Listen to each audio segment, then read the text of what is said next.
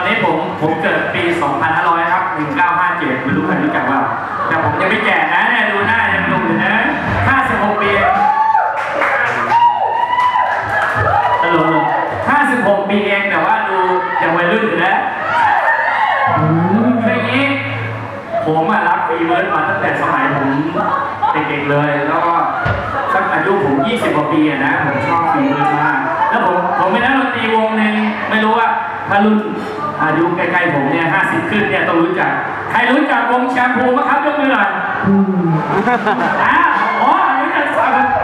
เมื่อก่อนเนี่ยจะมีวง ถ้าที่ไหนมีโรเจนสไปต้องมีแชมพู ถ้าใครรู้จักจริงนะผมเป็นมือมือกีตาร์ของวงแชมพูสวัสดีนะแต่ผมร้องเพลงไม่เป็นหรอกผมผมอยากร้องเพลงแต่สุดท้ายผมผมชอบเพลงฟรีเบิร์ดแล้วผมเป็นเพื่อนกับท่านอ่า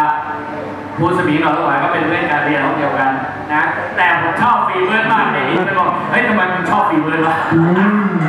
ก็กูชอบ